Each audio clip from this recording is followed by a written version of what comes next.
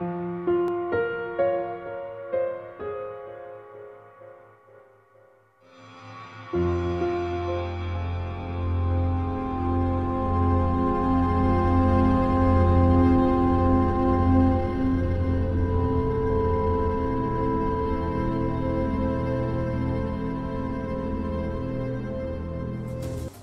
الرياضي من القدس دوت كوم أهلا بكم. أعلن الاتحاد الأوروبي لكرة القدم عن إقامة قرعة مسابقة دوري أبطال أوروبا وبطولة الدوري الأوروبي يوم غد الجمعة في مدينة نيون السويسرية. وستقام قرعة دوري أبطال أوروبا في الساعة الواحدة بتوقيت مكة المكرمة. فيما تقام قرعة الدوري الأوروبي في وقت لاحق الساعة الثانية بتوقيت مكة المكرمة.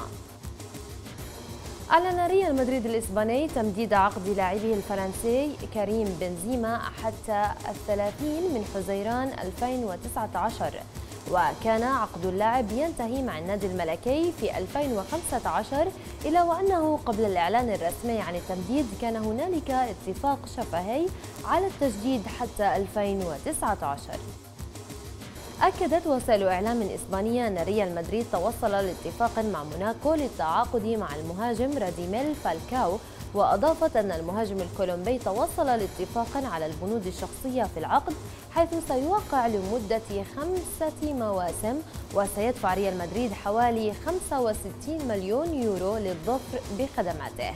وسيتم تقديم اللاعب في التاسع عشر من آب الجاري.